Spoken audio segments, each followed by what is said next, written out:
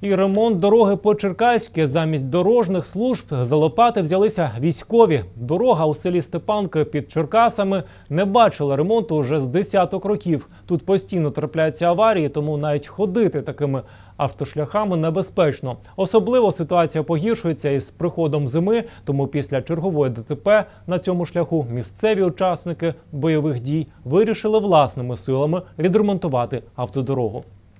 Цей Жигуль став черговою жертвою дороги у селі Степанки. Його власник влетів у яму та потрощив авто і паркан місцевих жителів. Ну, Як бачите, дороги у нас не дуже гарні, і це вже ні для кого, мені кажеться, не, не новина. Ніхто вже цьому не удивляється. Не перший раз люди вже б'ють колеса, не перший раз б'ють машини. Сьогодні так вийшло, що я попав в цю ситуацію. В'їхав в яму, просто в'їхав в яму, пробив колеса. На дорозі був легкий голольот. Мене кинуло на паркан. Дорогу у селі не ремонтували десятиліття, кажуть місцеві. Чимало автомобілів через численні ями лишилось без коліс. А також місцеві потерпають від підтоплення талими водами через відсутність системи стоків та дренажу. Кажуть, ще навесні обіцяли шлях відремонтувати. Воно так все і лишилось. Ніякі канави там не копані, нічого там не готове, геть нічого не підготовили, ні дорогу не підняли, ніде нічого прийде. Вони заляпали трошки ями і на тому крах. Геть зовсім ніхто нічого ні на що не реагує. Дорога государственного значення і на тому кінець. І ніхто на це не думає. Дорожники запевняють, ремонт триває, проте повністю шлях вони зробити не встигли через негоду.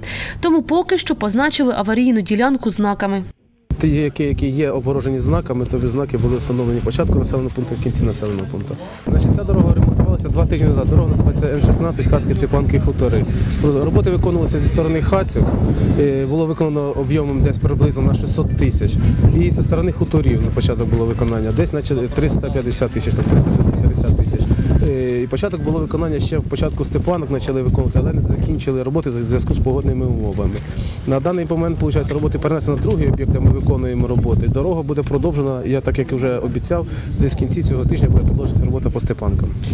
Але ці пояснення дорожників, учасники військових дій на сході України, уже чули і не вірять обіцянкам. За справу взялися самотужки. Вони зібрали громаду і за власні гроші заасфальтували найбільші ями в селі.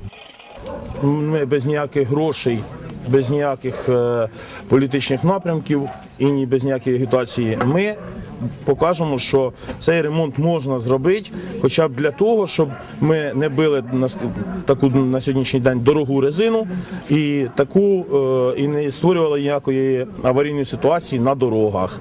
Насамперед.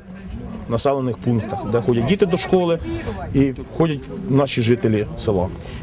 Військові довели до ладу лише відрізок сільської дороги та кажуть, якщо дорожники знову пасуватимуть, атовці продовжать свою справу. Яна Вимаренко, Олександр Кулик, Черкаська служба новин.